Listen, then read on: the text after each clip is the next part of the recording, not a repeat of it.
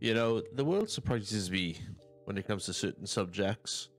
And once again, this subject is just, it's the same repeated thing over and over again Star Wars. Star Wars, Star Wars, Star Wars. The same franchise where people are so toxic that people stop the normal Star Wars fans from enjoying what they want to do. So, dive into this video with me. I don't know how long this video is going to be, but we're going to talk about why Star Wars is such a toxic community. My name is It's James. Welcome to another video. Like many other Star Wars fans, we all fell in love with it when we were a young age. I was six years old when I first started watching Star Wars. Uh, I was introduced to the original trilogy, which is episode four, five, six, uh, by my dad. And we had the beautiful, lovely gold and black VHS special edition covers, even though my dad or my grandparents had the originals on VHS as well we had the special edition one, and we decided to have a look. Had to, we decided over Christmas to sit down and watch it for the first time, and I absolutely fell in love with it. Fell, fell, fell in love with it. I thought it was really cool. Space with space wizards with uh, laser swords fighting each other, battle against good and evil.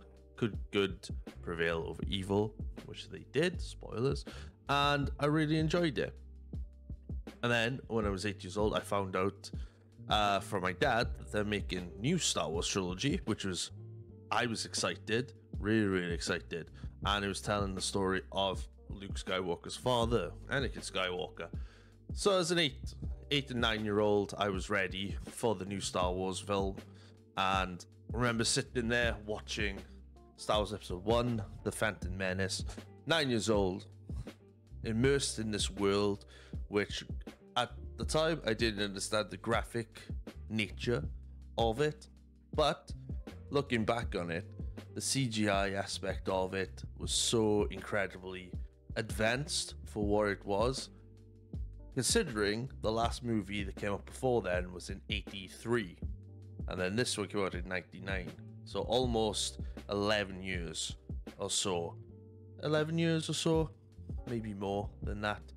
Uh, my math's a little bit off, but um, quite close. Over a dec, over a decade at least, um, since the last one, and fans were excited. Now, with Star Wars, and the same, and the same with the sequels. Uh, you know, kids who were probably about eight, nine years old, probably watched the original six movies and we're excited when Disney announced that uh, the sequels to the movies were coming out.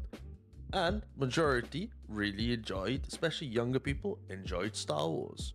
And obviously, with each, uh, which with each uh, thing that comes out, you know, fans who were fans of the Star Wars fans who were the fans of the original trilogy didn't like the prequels and people who were fan of the prequels didn't like the sequels, or a bit of both didn't like the sequels, how they were made, how they were portrayed.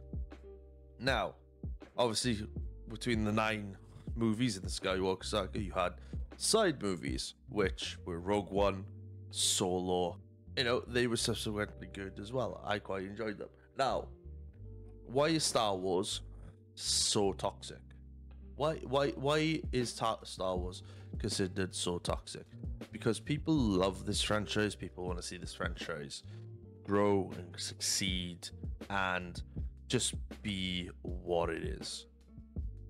However, there are a handful of Star Wars fans out there who just absolutely crap on everything about what Star Wars is and you know oh there's like there's no uh normal storyline. There's no there's a plot hole with this character, there's a plot hole with that character and whatnot. I mean, let, us be frank here. Uh, Star Wars has a lot of plot holes in it, but it's Star Wars. Okay, Star Wars is great.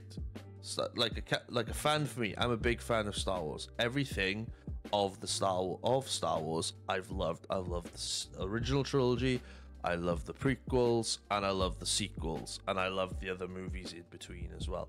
I loved every single bit of it. Why? Because I'm a fan of the movies. Um, over the last couple of years, you know, people are mourning on social medias, mourning on, you know, mourning everywhere they can, saying, uh, Disney is ruining Star Wars. They have this agenda and whatnot. And I would, for my opinion, I think that certain fans do um, bring politics into it. Uh, granted, some actors, some directors do it as well. There's a bit of both on both sides. However, I feel like sometimes, you know, when people bring the politics into it, um, it kind of ruins the fun out of Star Wars. And I don't see it as a political anything. Um, I don't see it. I don't see it as anything really. I just see it as space wizards with laser swords, good guys and bad guys, the light side of the force, dark side of the force. Who is the strongest in the galaxy? Usually it's the Jedi. The Sith take over that for a while, ruin the galaxy pretty much, dictatorships wise and whatnot. And then the Jedi release the galaxy from you know it's it's quite it's quite a ironically it's quite a political thing especially nowadays um and like you know i do kind of feel like you know that we should be better off with everything that star wars should be. You should enjoy star wars with your family with your friends. Doesn't matter your political status doesn't matter what you believe in. Like let's leave all that stuff out the window all right? This might trigger a couple of people all right? I don't i don't really care all right? This is why star trek is probably considered better than star wars in some aspects. Because when star trek was made in 1966 star trek was made to show that humanity was inclusive you know, Star Trek broke so many grounds by having a black actress as a predominant role, a, a Japanese navigator, which by this point was not long after uh, World War II, as well. A Russian, uh, a Russian ensign at the time was during the Cold War and whatnot, and just the inclusive of so many species and civilizations you know, co- co- um, coordinating together, and it didn't really matter. And it's still that platform still works today. This idea of like woke mentality. Star Star Trek was woke before the word woke was popular, you know, and it was.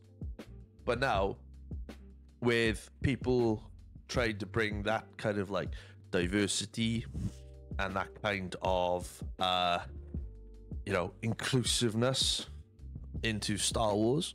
I don't see anything. Be personally, I don't see anything wrong with that.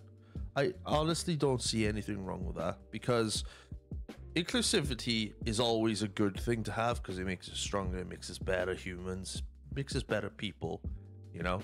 And the world is so much hate, hatred at the moment that it seeps into everything and everything. I just wish that Star Wars fans directors, companies, uh, even even Star Wars con- content creators out there need to do a better job of being like, okay, we didn't like this. Let's not moan about it. Let's not complain about it. Who cares? Don't like it. Don't watch it. Simple as. At one point, did we all go around and said, I don't like this, so you shouldn't like it either. You know, where did the gatekeeping start for Star Wars? And I just think to myself, you know, this is why this franchise is being ruined by other people. This is why this franchise is, you know, being destroyed by toxic, you know, to- uh, people who are being toxic. It doesn't matter if it's content creators, people within the business, people within the company, actors, directors, presidents, uh, the average Joe or Jane. You know, Star Wars. You should, if you like Star Wars, right? I'm not saying don't, you know, you should like everything Star Wars. If you don't like something that somebody's made Star Wars wise, that's okay. You're allowed to dislike it. You are allowed to dislike what you don't like, okay? However, if someone who says, I love the prequels, I love all, it's like, I love all the Star Wars stuff. I feel like the prequels are better than the, the the prequels are better than the original series, but I think the original series. But I, right, let me start that again. If somebody came around and said, "I like the prequels better than the original series," or if somebody said, "I like the sequels better than the other, the last two saga, the last two trilogies," then that is okay. People are allowed to say that. Okay, if you turn around, if somebody tells says that to you, and you turn around and go, "You are wrong. You're not a Star Wars fan. You shouldn't like. You should like this and this, not this." Then you, as that toxic person who's telling that person they shouldn't like what they like, and you get butthurt by that, don't watch it. Get out to the community. You've got no, no right to tell people what you can't and cannot like. No one. I openly admit I like everything Star Wars. I've enjoyed every single bit of Star Wars that has ever been been released, whether it's movies, TV shows, books, video games, or not. I've liked it all. Have I disliked several things? Yes, I do. I do. I like the Last Jedi now, but I didn't like the Last Jedi when it first came out. I don't like the Attack of the Clones. I don't like that. I don't like A New Hope. All right, those three are my bought last three, but my bottom three movies. No particular order, but those those three movies are my bottom of my list. The top of my list, people will be surprised. Rogue One is my top Star Wars movie of all time. Empire Strikes Back is number two for me, and Phantom Menace is number three. Why is the Phantom Menace number three for me? Because it was the first Star Wars movie that I watched in the cinema, and I loved it. All right. And if you come into the comments, feel free to come into the comments. Everyone is allowed their opinion. I'm not going to shit on your opinion, all right? But if you're actually going to come in to my comments and say, "Uh, you only li-, like," uh, on my podcast before, someone commented on my Star Wars Episode One uh, episode, which was the first episode, and I did a revisit version of that episode, uh, saying that I was completely wrong and I was using the nostalgia purpose of Star Wars Episode 1 Phantom Menace to cloud my judgment on how I feel about the movie. Even though I sickly said in the podcast that it's subjective, my my like for the movie is completely subjective. I like it. If you don't like it, who cares? Right? If you don't like it, whatever, that's fine. Don't like it, whatever. But you got no right to come into somebody to go near to go to somebody and say you are wrong. This is why this this is why the Star Wars community is very very toxic, very very toxic, and it's a shame because Star Wars has been around now for over forty years, we're close to fifty years now probably. All right, and it's you know when are we as people, as fans of this beautiful amazing franchise gonna turn around and go, do you know what? It's okay that I like this. It's okay that I don't like this. Let's just enjoy. Let's just enjoy the franchise that we grew up watching. Now, not saying everybody's toxic, not saying that at all. Everybody, right, uh, and it probably is like so. If it was like, I don't know, say, say we had a pie, right, cut it into eight slices, okay, probably say what four slices of that pie are probably the toxic people in the community of Star Wars, and the rest are the people who just look at Star Wars and go, I love Star Wars, I want to watch Star Wars. I don't give a fuck about your political views, I don't give a fuck about anything. Let me enjoy the show. That is it. That is literally it. And, you know, if you're watching this video, it's not a very good video. I apologize. This is literally rambling off my head. This isn't, there isn't going to be clips or anything like that. This is just full on chat.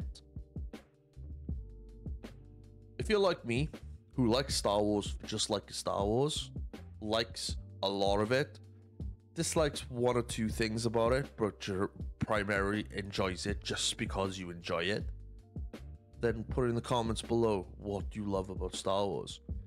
And if you're somebody who just likes one part of Star Wars but hates everything, comment down below why you don't like it.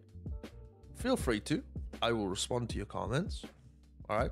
However, there is a stipulation with that. You have to have a good. If you don't like something, give it a good reason, other than this is woke, this is this, this is that, whatever. Who cares? About political affiliation. I don't give a fuck about that, right? Why don't you like Star Wars? And if you comment rate, well, they tried to put this in, this in. I'm not going to listen to it. You have to have a genuine reason why you don't like Star Wars, right?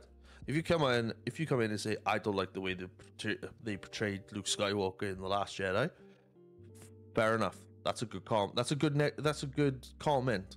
Please put that in. However, if it's gonna be if your comments are gonna be like racial, homophobic, uh, you know, all all the shit that I don't want to see, right? I don't, don't want to be associated with, then whatever. I don't care. So, moral of the story, ending this video. Star Wars fans, let's be better. Let's just enjoy this franchise for what it is and for everybody who is like me, who loves Star Wars, connect to me. I want to hear you. I want to see you. I want to. I want to. I want to connect, and I want to enjoy have friends with Star Wars, and just have fun. You know, sit down and relax, and just have fun and reminisce, and enjoy what's coming. On that said, I love everything that Star Wars is and what it is and, what, and what's happening with it right now. Uh, two episodes in into the Acolyte, not too sure what the Acolyte is all about. Looks good to be a potential good series, but we're two episodes in at the moment. A lot of negative views on Acolyte from content creators, which is fucking standard. But I guarantee you, if the show gets better through that, I will think those same people who are like, I don't like this, I don't like that, will end up saying, Oh, I love it, it's great. Keep an eye out, I guarantee you. Because the toxic Star Wars creators are normally the most hypocritical ones. Right? That's not throwing shade at anybody. Let's just generalize. And that is fact. Alright? If you don't believe that, that's your opinion. This is my opinion. If you don't agree, if you agree with it, great. If you don't agree with it, great. It's your opinion. All right. Have a good one, guys. See you in the next video. And let's be better.